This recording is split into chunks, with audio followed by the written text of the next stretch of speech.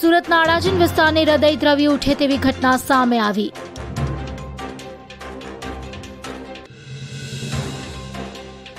પરણિતાનું ત્રણ માસનું ભ્રૂણ સાસુએ કચરાની ગાડીમાં ફેંકતા હોબાળો થયો. ભ્રૂણ કસુવાવડ થયા બાદ સાસુએ કચરાની ગાડીમાં ફેંક્યું. ગાડી ચાલકની નજર પડતા મામલો બહાર આવ્યો. ગાડી ચાલક બિપિન રાઠોડની નજર પડતા તેણે મહિલાને અટકાવી જેથી હોબાળો થયો કચરાની ગાડીવાળા બિપિનભાઈ રાઠોડે અડાજણ પોલીસને જાણ કરી અડાજણ પોલીસે ભ્રૂણનો કબજો મેળવીને તપાસ માટે સિવિલ હોસ્પિટલ લઈ ગયા અડાજણ પોલીસે કાયદેસર પેપર તૈયાર કરી પોસ્ટમોર્ટમ માટે ભ્રૂણને સિવિલ લઈ આવ્યા